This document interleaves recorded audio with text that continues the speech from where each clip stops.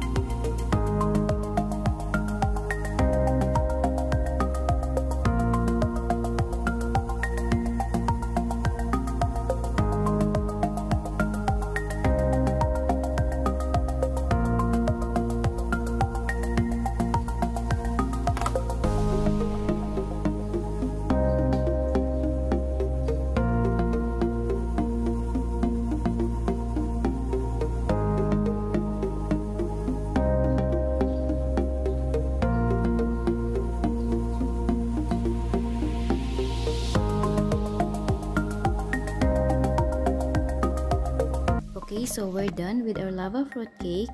We will just cover it and then put it in the fridge and we will check it tomorrow.